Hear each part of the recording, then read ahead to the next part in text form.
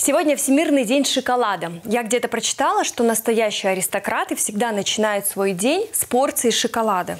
Но шоколад это также и пропуск э, в новый мир. Мир, наполненный счастьем, улыбками, радужными красками. Мир, в котором возможно все, Лара. Где ты это прочитал? Я это прочитал у Джованни Джакомо Казанова. Цитата известного итальянского писателя. А вот еще известная цитата Владимира Набокова. «Шоколад – это хорошая вещь. Есть барышни, которые любят только горький. Сорт – надменные лакомки». Я тоже люблю горький шоколад, сорт именно горького шоколада, но, к счастью, я не барышня. Хватит уже занимать эфирное время. Смотрим, как относятся к шоколаду жители нашего города. 11 июля все любители сладенького празднуют Всемирный день шоколада.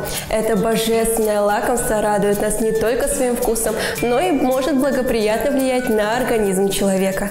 Знают ли о его полезных свойствах наши карагандинцы? Сейчас узнаем. Думаю, горький, потому что для, для мышления хорошо. М, Если полезный, то, наверное, горький. Горький, темный. В молочном нету пользы. Горький. Горький без сахара. Темный натуральный шоколад может быть полезен. А какие-нибудь с добавками, то там белый, который слишком сладкий, то вообще не будет уже как-то влиять на наш организм. Он расширяет сосуды, это положительно влияет на сердце. И за счет, за счет чего кровь на- начинает поступать более активно в мозг, и человек старается больше думать. Некий витамин, наверное, получает, если какой-то натуральный шоколад есть. Расширяет сосуды, разгоняет кровь. Что еще?